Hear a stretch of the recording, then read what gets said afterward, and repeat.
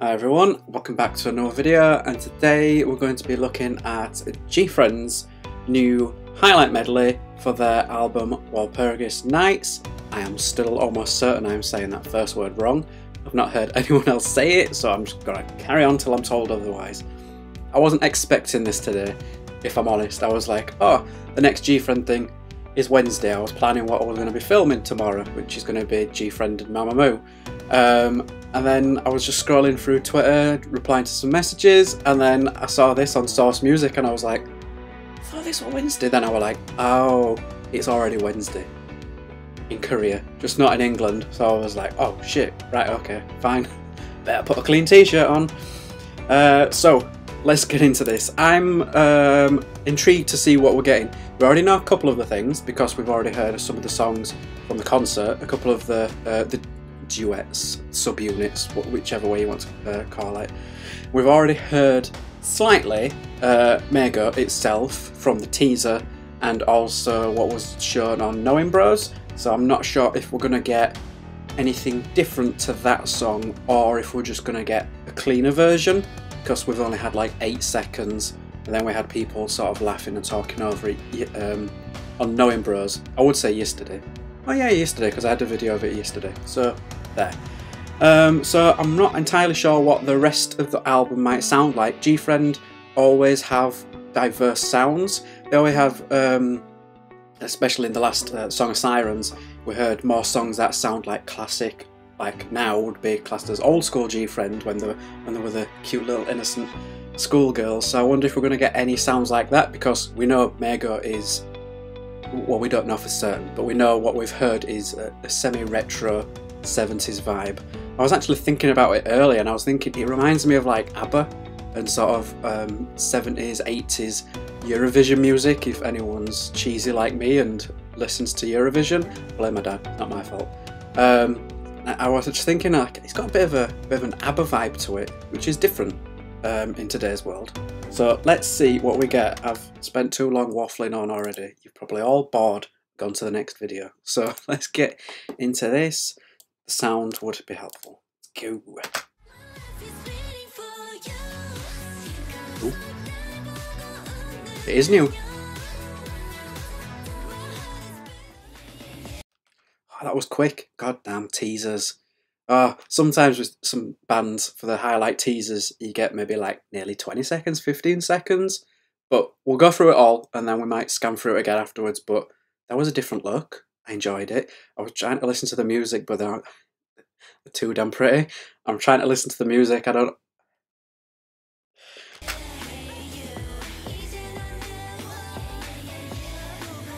Hmm. This is like a don't know. Bit like 2000s popish music, like Western American pop. This isn't. Is this like uh, city pop? To me, it's like uh, 80s uh, sort of semi synth pop, like Prince type.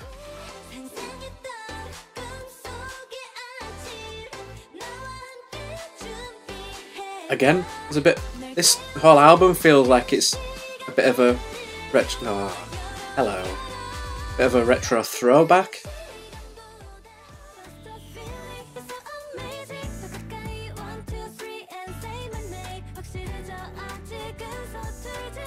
God, I could do with an ice cream. That was a good. I think we heard this one. Is this one of the duets? Subunits?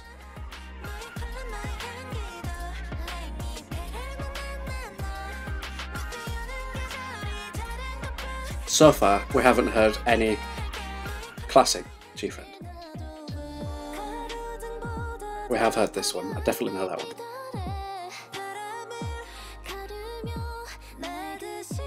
This one really, really cool. Really cool set as well.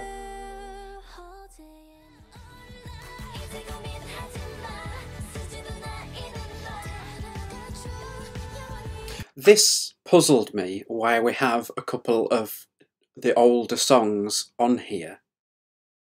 It doesn't sound like it's reworked. I'll carry on, but it puzzled me when I was looking at the track list when it was first released, and I was like, Apple and Labyrinth. It's like I like them. I'm glad it's included, but it's like, hmm.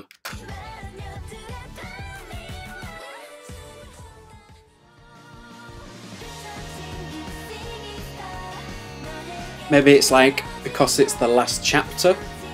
Maybe some people that haven't got the other albums and they're sold out and can't find them, so they're on here to sort of package everything together. Honestly, one of my favourite songs of the year. This.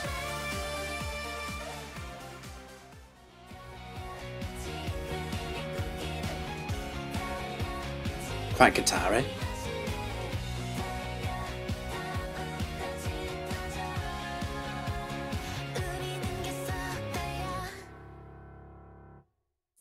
That was a weird sound. Well, note to end it on. It feels like someone just slammed the piano or hit the piano. Hmm. Hmm. Let's go through one more time. One more time. We have we, so we don't have any classic GFriend sound, which which to me classic GFriend sound is. please don't be mad. Is the sort of anime sounds with a lot of strings and sort of build up. Maybe some of the some some of the guitar stuff and different sort of instruments like you know classic GFriend, like you know more than I do. I've only been with the girls like half a year, but we do seem to have more retro sounds. I don't know if it's just me that feels like the whole album itself is more not retro GFriend, but retro sound as, as in the wider range of music.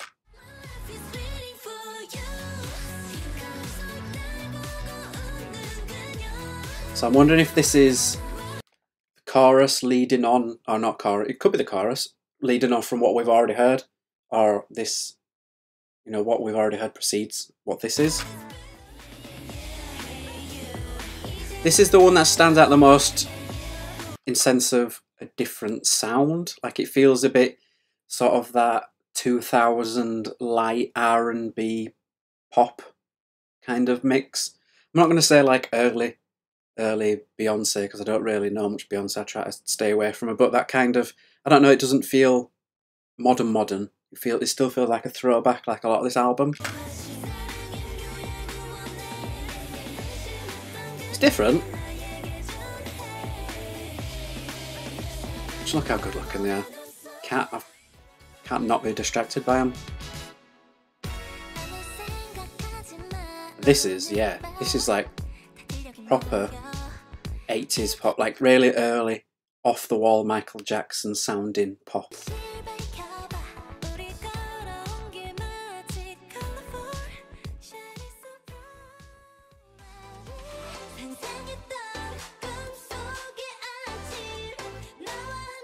I guess this one could be classed as maybe a modernish sound.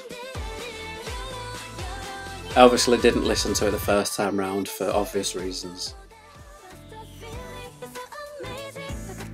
Yeah, so uh, yeah, that we have heard this on the concert.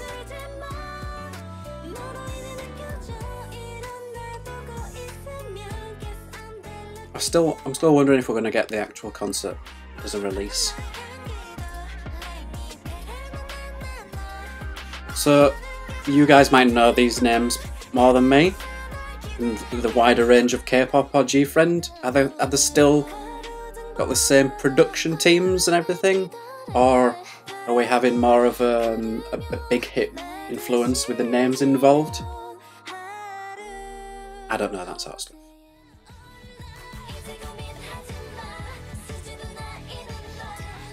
Hmm. I, I do wonder why we've got these songs at the end because it's, it's it's an album, but adding these on feels like maybe is it filler to make it an actual album, or they might have already said why, and I'm just babbling, and because I don't know. It feels like because it's the end of this chapter for this. I don't know what the little symbol means, the little square within a square. Um, because it's the end. It's like right, we'll put these on, so it's like a not a compilation, but it sort of ties a bow on it all and finishes it off to help tell the story. But then you'd think Crossroads would be first, Labyrinth, then Apple. I'm overthinking. Just enjoy the goddamn music. Yeah, Like I did a I did a video earlier in the year, like my top ten songs of the year, and this got a special mention because if this was the lead song, it'd probably be number one. I do like the sound of this one. This one might be the one closest to the to that traditional sound because it's we do have the strings, but we have more of an electric guitar, which sort of, ch sort of changes that classic sound slightly. Too cute. Too cute. Hmm, hmm, hmm. Well, this was a, a, a, welcome surprise for me. I thought I had another day until this arrived. So, it sounds like we've got an awful lot on our hands.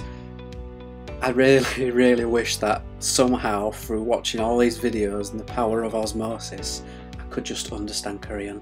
So I could understand the lyrics. Because I'm just going by the feeling of the music, which is one of the reasons why I like K-pop, because I, feel like I don't need to know the lyrics to get the tone and feeling of the song. But I like medleys and stuff like this, when we're getting actual vocals and I don't know a single goddamn word, I'm like, ah, because it might help tell sort of story of what the song's about itself. But oh well, here's what it is. Better get learning. But I'm intrigued by this album. Um, I do really wonder how Mago ties in with the overarching story. Um, I'm obsessed with stories and bands. Um, one of the reasons why I really got into, like, had dived into GFriend was because of the story, and I really want to know how how this 70s retro setting fits in. Uh, that that to me is really interesting, and, and especially the fact that we seem to be getting a lot of retro sounds this year in K-pop, and the progression of GFriend from you know, Crossroads, Apple, and now Mago, it's like those are three different sounds telling a story. I just find it really, really cool. So, um, I don't know which song, like, stands out as in one that I can't wait to listen to in this.